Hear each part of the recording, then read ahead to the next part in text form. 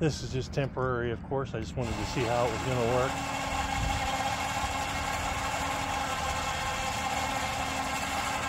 Ooh, it's pulling a whole 24 pounds. I'm not sure that that's a big, huge workout for the winch.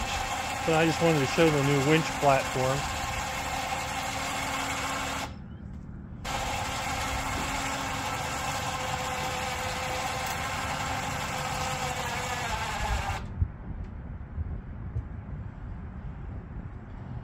And seems to work, so at least we know it works from a battery anyways. That's it for the first test. See ya.